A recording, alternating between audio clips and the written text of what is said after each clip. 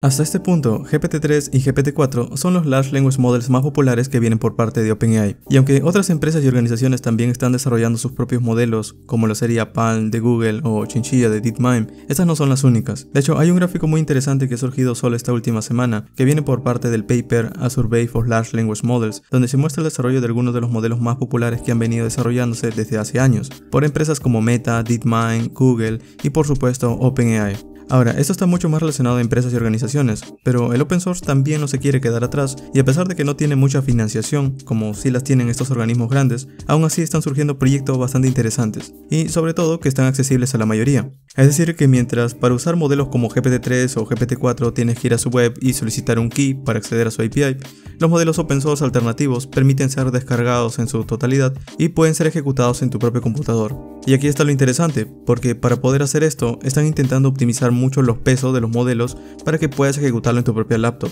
porque no todos tienen computadores con gráficas muy potentes que es requerido para ejecutar modelos de lenguajes grandes. Aunque eso sí, cabe aclarar que no esperes que estos modelos open source sean igual de útiles que GPT. Pero a modo de ver ideas nuevas y sobre todo poder experimentar con algo similar a GPT instalado en tu propia máquina, creo que vale la pena probarlos. Y también relacionado a esto, algo que llama la atención es que todos estos modelos open source están siendo llamados en su mayoría con nombres de animales, en donde tenemos cuatro actualmente, que no llevan mucho tiempo de desarrollo, en donde podemos encontrar a Lama por parte de MetaAI, Vicuña que viene por parte de investigadores de universidades independientes, Koala que viene por parte del equipo de investigación de Berkeley, Dolly de la empresa Databricks o Que viene por parte de Microsoft Research Asia. E incluso antes también estaba un modelo llamado Alpaca, que había sido creado por la Universidad de Stanford, pero este ya no está siendo desarrollado, aunque sí ha servido de inspiración para otros modelos como los que te he mencionado. De hecho, todo esto de nombrar modelos como animales empezó porque cuando Meta, es decir, Facebook, publicó su modelo open source, lo llamó Llama, que viene del Large Language Model Meta AI. Luego Stanford se basó en Llama para crear su propio modelo, en donde lo llamó Alpaca, y a partir de allí se ha seguido nombrando los modelos con estos nombres curiosos. Ahora, Llama es el modelo open source más importante de todos de momento, porque como Facebook está utilizando una licencia no comercial para este modelo, muchos han estado utilizándolo para crear sus propios modelos a partir de él. Incluso la comunidad ha hecho un port del código a C++, que se puede encontrar en GitHub como lama.cpp, en donde puedes descargar completamente el modelo y crear el tuyo propio a partir de allí. Es por eso también que estamos viendo varios nuevos modelos de golpe, porque al ya tener una base simplemente están clonándolos, modificándolos, optimizándolos o haciendo que consuman menos recursos pero intentando que sea igual de útil que GPT. Es por esto que en poco tiempo Stanford también había creado su propio modelo llamado Alpaca, aunque este proyecto no duró mucho y ya no está accesible. Y después de esto solo hemos visto aparecer más y más modelos. Por ejemplo, tenemos actualmente a Dolly, que es otro modelo que ha venido por parte de Databricks, una empresa que está conformada por los desarrolladores del framework Java Spark y que sería similar a GPT-3. O también está Koala, que es un chatbot que ha sido publicado tan solo hace algunos días atrás por investigadores de Berkeley Artificial Intelligence Research o abreviado BER, que han afinado el modelo para que tenga diálogos que se acercan a la calidad de ChatGPT, según ellos. Vicuña, un chatbot entrenado con 13 millones de parámetros encima del AMA y que ha usado conversaciones de ChatGPT como ejemplos,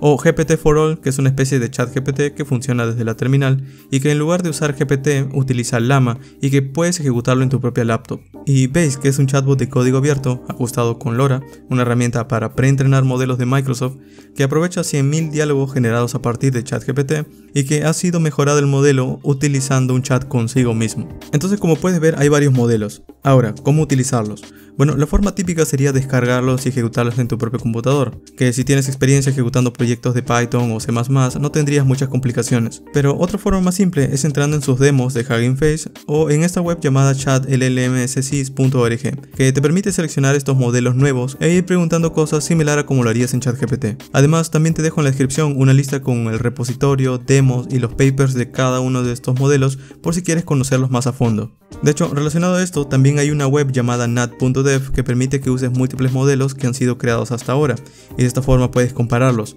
Aunque eso sí, debido a que lo han usado mucho, ahora cobra 5 dólares al mes, pero aún así es un precio razonable, sobre todo para aquellos países en donde aún no tienen acceso a ChatGPT o si no tienen acceso a GPT-4. Y bueno, estos son los modelos que la mayoría está probando justo ahora, pero no son los únicos en realidad. De hecho, la idea de estos modelos que te he mencionado hasta ahora es que puedan responder cualquier tema en general, de nuevo similar a GPT-3 o GPT-4. Pero también hay otros modelos que están creándose y que están más enfocados en un área en específico. Por ejemplo, entre los últimos que salieron hace unas cuantas semanas ha sido Bloomberg GPT, que es un LLM para finanzas entrenado con 50 millones de parámetros entrenados en datos financieros, que provienen desde la web, noticias y el sitio de Bloomberg. Luego está Chat Doctor, un modelo de chat médico basado en Llama, que está basado en conocimientos médicos, en donde usa datos recopilados alrededor de 700 enfermedades y usando más de 5.000 conversaciones de médico-paciente para ajustar este modelo. O Hugging GPT, que es un sistema que aprovecha los LLM como ChatGPT para realizar la planificación de tareas, seleccionar modelos y actuar como controlador para ejecutar subtareas y resumir las respuestas de acuerdo con los resultados de la ejecución. Y la lista no para, pero si bien hay determinado tipo de profesional que se puede beneficiar de estos modelos, la idea de un modelo es que pueda responder de todo y no solo que se enfoque en un área en específico. Aún así, si quieres probarlos también dejo el enlace en la descripción. En fin, como puedes ver, el open source no se está quedando atrás y cada día están sacando ya no solo nuevos modelos, sino también aplicaciones que son alternativas a ChatGPT. Y solo vamos unos cuantos meses desde que se popularizaron, así que no sé qué es lo que podríamos esperar hasta fin de año. De hecho, hasta el momento solo seguimos hablando principalmente de generación de código e imágenes, pero esto podría cambiar mucho con la llegada de los plugins de ChatGPT, que permiten desde ejecutar código dentro del chat hasta conectarlos con servicios para hacer búsquedas, compras y mucho más. Pero como esto solo está relacionado a OpenAI, en el open source también hay un nuevo framework que no solo permite usar modelos de OpenAI, sino también modelos que han venido desarrollándose alternativos a este, al mismo estilo de los plugins que está ofreciendo ChatGPT, siendo el más popular de estos frameworks el proyecto llamado LangChain, pero este como es todo un tema voy a mencionarlo mucho más a detalle en un siguiente video.